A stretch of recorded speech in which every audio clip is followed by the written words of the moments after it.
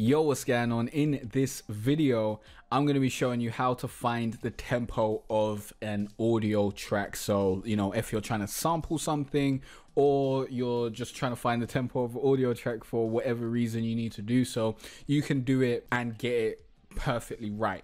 Like, I want to show you exactly how to make sure that the tempo is right. It matches your project so you can do whatever you want with it. Okay. Does that sound good to you? Great. I'm Jay Cartere from jaycartere.com, teaching you how to be better at YouTube marketing, online business, and music production. So let's get into this video now. This is FL Studio. I have just started getting back into music production and whatnot, so don't expect me to be the best of the best. But I did need to bring in a audio track the other day, and I did need to check out the tempo and stuff, and I had to find out how to do that. So I thought I might as well make a video to show you how to do it as well. So I'm gonna use one of my songs because I don't want to get a copyright claim on this video. So give me a sec, and let's pick natural phenomenon because that is the song that's like on all of my what's it called on all of my intros on the intro of all my videos and stuff or the outro at least. So this is my song right here. Now i need to grab headphones because i totally forgot that that would be necessary. All right i am headphoned up. Let's see if all the audio is coming through right audio is not coming through correctly for me. Actually, I do want to actually stop this recording and start again to make sure that I'm recording the computer. So I'll be right back. So now we've got the audio set up. You should be able to hear everything. And because we've put the track in here, it does come into a channel rack as well. And basically, the first step is to just click on the song in the channel rack and this will bring up the options and all the the file stuff that you need to do. I don't i don't know what this thing's actually called. Uh, plugin options i don't know what is this? What is this?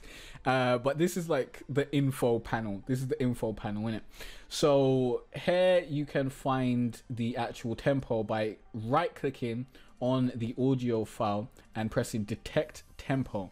And this has got the tempo like this came embedded with tempo information because I actually created this in Logic and exported it with the right tempo and all that sort of stuff. So it says clearly 128 BPM.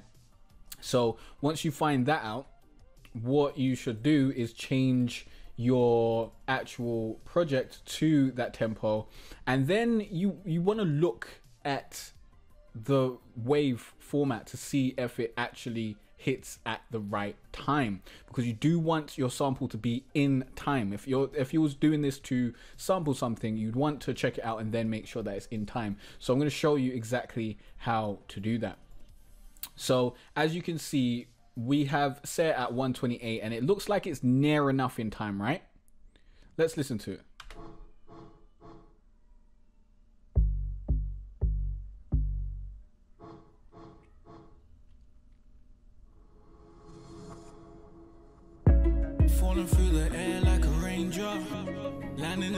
of my arms.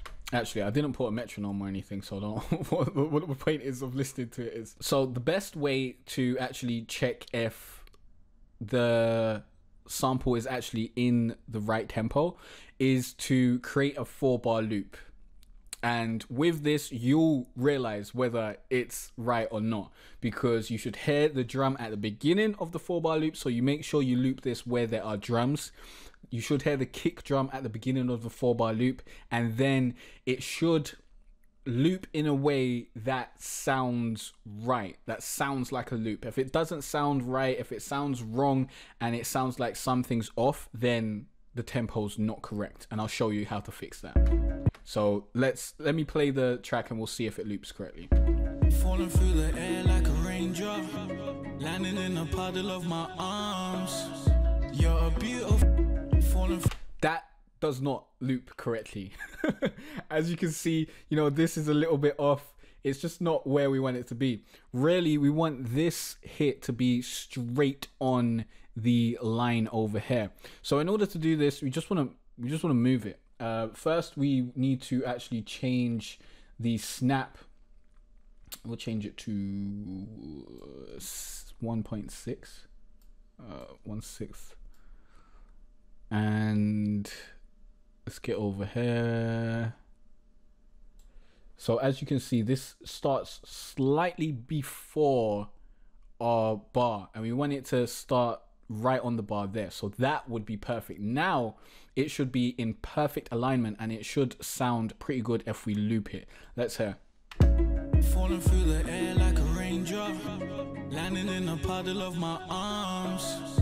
You're a beautiful Ah I've realized the culprit. I've I have realized the culprit. Basically, I don't believe that this song is actually 128 tempo. I don't believe that's actually the tempo. I think that I just had that set as the tempo of the song when I exported it. So it seems like it's 128. I actually created this in Logic and exported it with the right tempo and all that sort of stuff. With the right tempo and all that sort of stuff. With the right tempo and all that sort of stuff. So this can happen to you. And generally, when you detect a tempo of a song, you're going to get something that's a little inaccurate. And that's why we need to come to this stage to actually find the the right tempo. So in order to do this, uh, we just need to kind of figure out what we what we need to do is create a four bar loop as we was doing before. So if we create a four bar loop from here to here, there we go. We've got a four bar loop starting with some drums. Bam, bam, bam raindrop. Bam, bam, Landing bam. in a puddle of my Imagine. arms. Bam, bam, bam. So this, I think that goes too far. Let me hear that again because we want to know whether we need that to be over there or we want that to be more over on this side, and that will determine whether we go up in tempo or down in tempo. So let me listen one more time. Falling through the air like a raindrop, landing in a puddle of my arms. You're a beautiful. Falling through the air like a raindrop, landing in a puddle of my arms. Bam. Yeah, I I want to bring basically this is where I want it to hit. Like I want it to be bam, bam, bam. I want it to finish at arms and then loop back around. So let's see which tempo range will bring us there because I, I, don't remember exactly like if up will move it left or if up will move it right. I believe down moves it. Okay, down moves it left. And so if we go down in tempo, this will come further to the left and if we go up in tempo it'll go further to the right. We want to make it go up. So we want it to be like there. And what i usually like to do is basically get right where the drum beat starts and just cut the track so that it starts at that drum beat because then it's just much easier to see what's going on and get everything where it needs to be Okay, we need to cut that right here. And that should work. And then we can basically move this to the start of any bar. And then it'll make it much easier for us to get the right tempo. So now we can uh, move this to like a 6 beat or whatever. But I really want this to be on bars. Why is it not? Just snap to the bar, bruv. So what I've done is I've cut the track at the drum. Right at the drum. Honestly, could have probably cut it a little bit closer. And that would have probably got us... I, I don't know if we need to do that, actually. It might be worth it. Let me cut it a little bit closer.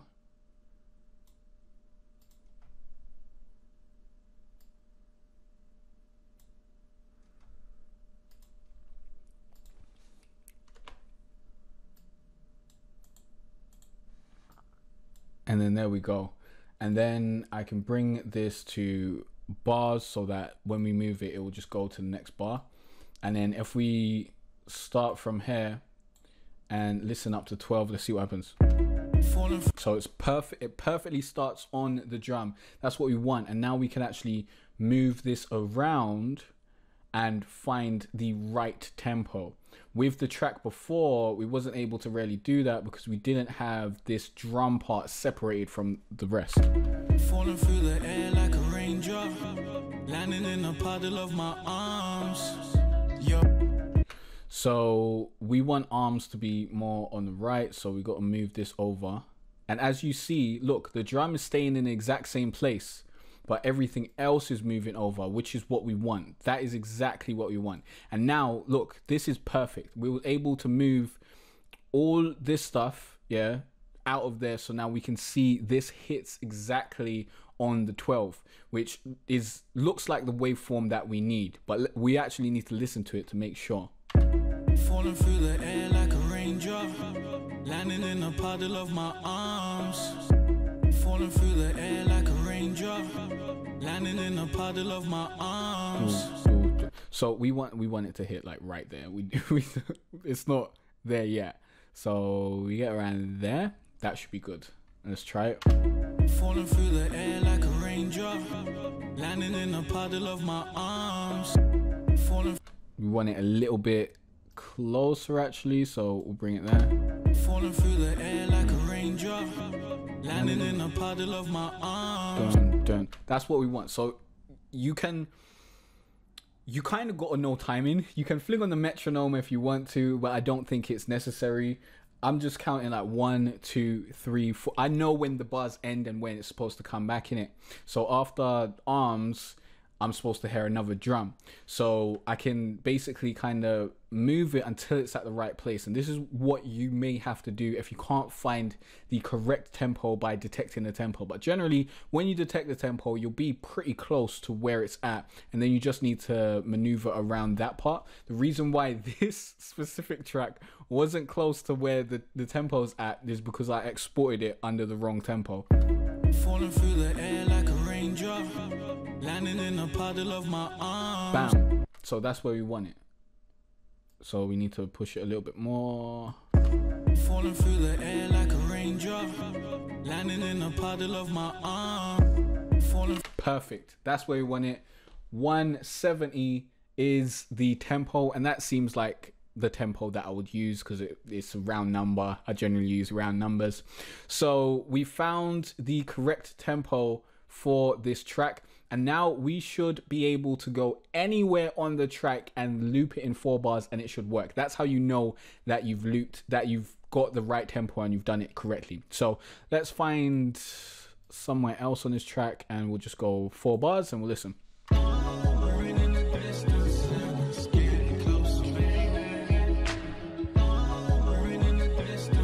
Yeah, obviously we should start at the beginning of like where the where the line starts.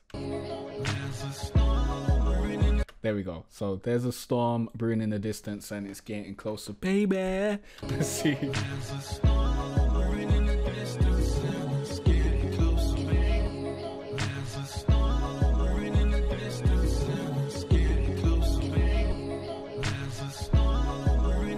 See, if you listen to that, you can hear that it's musically looping correctly. And we, let's find one more place so that we can hear it just a little bit clearer. Bam, bam, bam, bam, bam.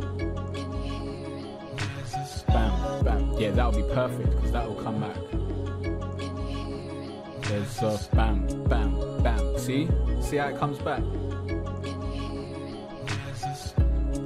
See how it sounds like a perfect loop? That's what you want. Once you get to that point, you know you've got the right tempo. Now, the first part of you know just clicking the track and seeing what's up and detecting the tempo very easy. You can do this with most tracks. Most tracks will get you really really close there.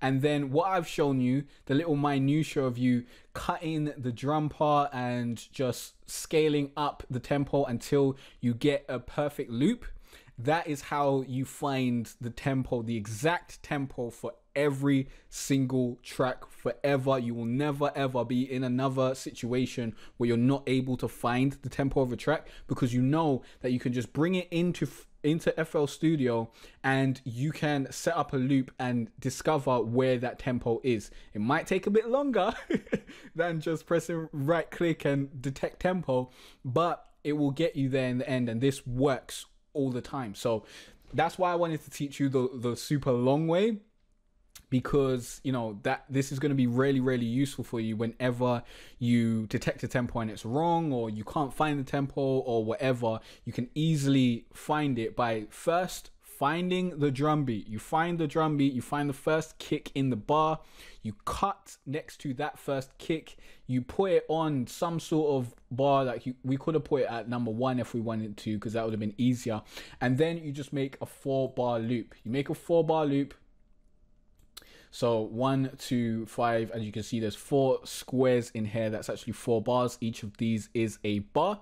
And then you just loop that and you listen to that and you keep on moving the actual tempo until you get a perfect four bar loop. That is how you find the tempo of any track.